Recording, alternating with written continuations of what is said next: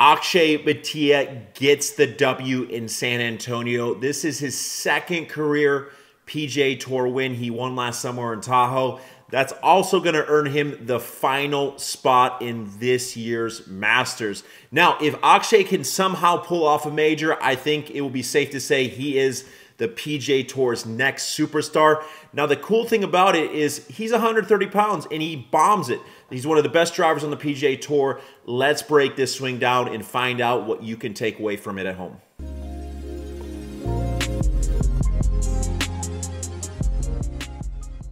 Okay, so if you have watched any of our other analyses, uh, one of the things I always like to start with is is looking at where the lead shoulder relationship is to the rest of the body. Okay, so you can see that uh, his lead shoulder is a little bit outside of his lead hip. A lot of the other players we've looked at this year, um, they've had their lead shoulder aligned directly over their lead hip. Okay, now what that's going to do is that's going to change the positioning of the spine. So we can maybe assume Akshay's spine might be a little bit more up and down. Uh, but if he was to set up with that lead shoulder a little bit more back, we would see a little bit more tilt in the spine. Uh, the reason I like to look at this is it gives me idea of how the rates of side bend to extension are going to happen as a player moves into their backswing. Uh, now the thing about Akshay is he looks really flexible. Okay, so I know he's he's 130 pounds. He he looks very wiry. Uh, so it doesn't look like he has many movement limitations. Uh, so he might be able to get away with this. But if you're an average golfer at home and you are struggling uh, to turn your shoulders, it might make sense to, to set up with a little bit more tilt. Now, what this is going to do is this is going to um, have a direct relationship to his lead elbow. Okay, so you can see that his lead elbow might point slightly off to the right of the target. Remember, he's he's a left-handed golfer. Um, versus like a Bryson DeChambeau. Bryson has that lead side cranked a little bit more. Uh, lead elbow is pointed pretty much directly at the target. Just understand that all those things are directly correlated. Now, one of the other interesting things we see is, is he sets up with the lead foot pretty flared. Okay, almost reminds me of a Ben Hogan. Um, there's some pros to that. There's also some cons to that. We'll talk more about that and look at how that moves as we progress through the swing. Now, with a stance a little bit more on the wider side of the spectrum, which I'm a fan of. Okay, his swing and his setup reminds me a lot of uh, the Wyndham Clark analysis that we did. So be sure to check that out if you haven't watched that yet. But I do see a lot of similarities between Akshay's move and Wyndham's move. Uh, obviously, both young guns on the PGA Tour who who are having a lot of success. So definitely things to take away from these swings. Uh, down the line view, one of the first things I always like to look at is is the humerus. Okay, so if I draw a line down at 90 degrees uh, from the shoulder joint, I like to see which side of that line the shoulders hang at. Okay, so you can see that Akshay's arms hang on the left side of that line. Uh, the reason I like that is it's going to give us more space between the hands and the pelvis at address. So what I've learned over the years is guys who rotate really well throughout the swing, they have space to actually move move through. Um, if, if you don't have space to move, the body's not going to go there. The body always takes the path of least resistance. So ultimately, by establishing that space at address, I, I think that puts you at an advantage. Um, the rest is is pretty good, pretty neutral. Um, lumbar spine, neutral. I like how the upper part of his back is a little bit more rounded. Okay, so that's important as we move into extension in the backswing. We want to be a little bit more rounded at address to have room to go. And then, as I mentioned, the rest is, is just pretty normal. Knees are over the balls of the feet, armpits are over the knees, give or take. Um, it maybe looks slightly like the, the handles uh, maybe a little bit on the lower side. So if I draw a line through the shaft, uh, pretty much pointed at the belt buckle, give or take. Um, obviously, someone like a Bryson DeChambeau might set up with the hands a little bit higher. Um, last but not least, the grip. So kind of an interesting grip here. Uh, so if we focus in on this, uh, I would say the lead hand is fairly neutral. Um, his his trail hand is covering most of it, so it's hard to, to see exactly. Um, but then his trail hand is actually very weak. So if we draw a line up from the V, you can see how much uh, that trail hand is covering that lead hand, and that V points up at his uh, what would be his right pec. So definitely a weak trail hand. It will be interesting to see how he navigates that grip and that club face throughout the rest of the swing. Okay, so off the ball, he has a slight body shift. Okay, very small, not um, big like a long drive guy. In my opinion, if you're playing normal golf, that's really all we have to see is just a slight body movement uh, to help us get our sequencing correct. Now, he makes a nice wide one piece takeaway. What we'll see here is, is the lead arm uh, is going to be a little bit lower than the trail arm going back. Okay, so uh, you can see that green line is, is a little bit higher than the yellow line. Ultimately, this is going to be directly correlated to the rates he's tilting off the ball. Now, remember, at address, we talked about the relationship of this lead shoulder to that lead hip, okay? And because he's set up in a little early right side bend, what we're gonna see as a byproduct is we're gonna see his head move towards the target as he moves into his backswing, okay? And ultimately, because his shoulders are getting steep, that's why we see that trail arm sit much higher going back, okay? The byproduct from the down the line view is typically when we see this, the head's gonna stay a little bit more outside the hands going back. Okay, so you can see at, at P2, club is well outside the hands. His shoulders do have more tilt as a byproduct. Okay, so you can see they're working back a little bit more on the steeper side of the spectrum. Okay, now as we move further in the backswing, um, he does a great job winding his body up. Okay, so you can see uh, how early he gets his shoulders turned back to 90 degrees. So he's he's making a big body turn here, uh, and ultimately, by the time he reaches full range of motion, okay, uh, say roughly around there. Okay, so massive shoulder turn, not a huge arm swing. Okay, so so that's what we see from a lot of the guys on tour is they they they tend to create big turns with their body, not much independent arm run on with the arms. Uh, we will talk about the overlapping that he creates uh, through the transition here in a second, but I do want to point out this lower body movement. Okay, so obviously we talked about the little shift to the right.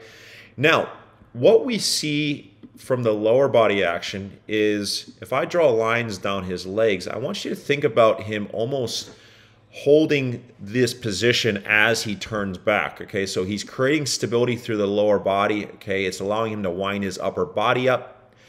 Okay, so we don't see that lead leg whipping back real quickly off the ball. This is one of the things that I was uh, talking about with Wyndham Clark's swing that we noticed. Um, and the byproduct of this is if a golfer does that, we're going to see this lead side work a little bit lower in the backswing. Okay, so not only does he have uh, a little bit of a steeper shoulder turn going back, one of the things you'll see in the pelvis is at the top of his swing, okay, his pelvis is going to be a little bit more on a steeper incline. Okay, this is really important uh, to get our body to actually fall to the lead side through the transition. So a lot of golfers who have trouble getting to their lead side, typically they don't have the slants uh, in their in their swing in the backswing. Okay, so if we look at how he manages this grip in this face moving back, okay, you'll see that obviously his hands are, are really passive, not doing much with the hands or the wrist, and because the body is working back a little bit on the steeper side of the spectrum, you can see that the face is working back a little bit more in a hooded position at P2. As we continue him up to the top of the swing, his shaft is going to work back a little bit on the steeper side of the spectrum, which I'm okay with because I think that sets him up to actually shallow the club in the downswing. If we see a golfer get to the top of the swing and that shaft is laid off, there's a good chance we're going to see that shaft steepen at some point in the downswing, which is no bueno, uh, especially for speed. Now, as I continue to take him to the top with this face on view, okay, um, one of my favorite parts of his swing is He gets to a point where he completes his shoulder turn or his body turn in the backswing, okay, roughly right about here. Okay, so you can see how big of a body turn he has. He starts the process of transferring to his lead side and changing direction. But what happens is his arms still continue to work back. Okay, so you can see the arms working back as he's changing direction. Okay, this is going to create a massive stretch from his lead hip all the way up to his trail shoulder. Okay. Um, lead arm is getting pulled across the chest into what we call adduction. Um, I know there's a lot of debate out there in the golf instruction world. Uh, should you leave the arm up? Should you pull the arm away from the chest? In my opinion, it's a little of both, right? You want to see that arm load across the chest and create a stretch. And then eventually we want to see that arm fire off the chest, very similar to uh, throwing a frisbee. Uh, and I think Akshay is a really good example of, of what is the correct way. Okay, so it loads across the chest and then eventually um, it, it does fire off. Now, I will say some players do get it off the chest a little bit earlier. Akshay is definitely one that, that it, it keeps on the chest a little bit longer, but I think partly because he has so much lower body rotation, okay? Um, you get him to P5, you can see how open his knees are at this position this early in a downswing, okay? So obviously, getting that open, it's, it's going to load that arm across the chest. Um, so his his arm might fire off a little bit later than a, a Wyndham Clark, but ultimately, what I love is he gets back down to impact with that shaft uh, in a straight line to his lead shoulder at low point. This is really important to being able to square that face up. Um, one of the other things, as I mentioned a little bit earlier, uh, if you do get that sequencing of overlapping the backswing and the downswing correct, you should see the shaft actually shallow a little bit. Okay, so you see how his his shaft is laying back a little bit through the transition. Okay, um, that's going to allow the club to to drop right down the forearm, neutralize the swing direction. Ultimately, when we get him to impact, um, this is a really good position he's in. Okay, open hips, you can see both butt cheeks. The trail elbow has a lot of bend. Okay, so a lot of bend in that trail elbow. We do see some some lateral side bend in the spine. Okay, ultimately, this is purely a byproduct of how he changed direction and how he moved through the transition. Okay, so I see a lot of people uh, chase this look at impact, but you have to understand that to get to this position at impact, you got to move like Akshay through the transition.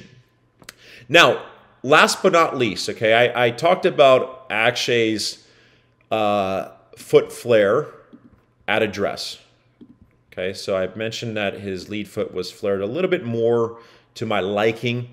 Um, and one of the reasons I say that is sometimes if a golfer has that foot too flared, they might have a difficult time actually extending that leg by impact. Okay.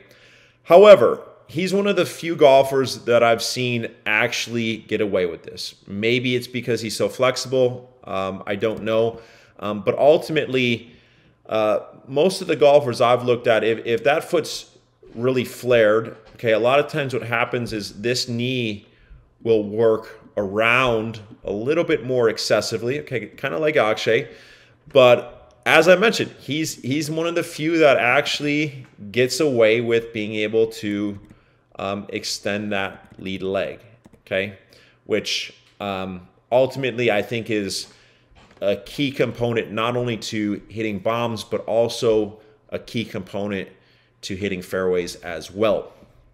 So I get asked a lot, can a golfer have too quick of a lower body to start a downswing? And in my opinion, I don't think that's the case. Um, however, I do think golfers can fire from the wrong position. And there's a lot of things that fall under that.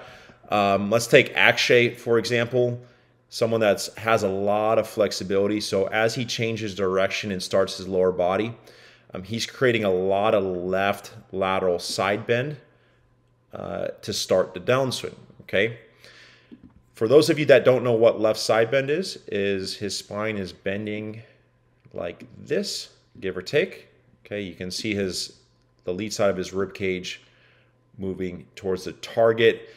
This is a great way to get the upper body stacked on top of the lower body. Okay, if you want to feel this at home, sit in a chair, go to the top of your swing, feel that lead side work towards the target. Okay, now, so because he's moving into left side bend uh, excessively, it makes sense why he's setting up with a little bias towards right side bend at address. Okay, so that's a great way and a great example of creating a matchup.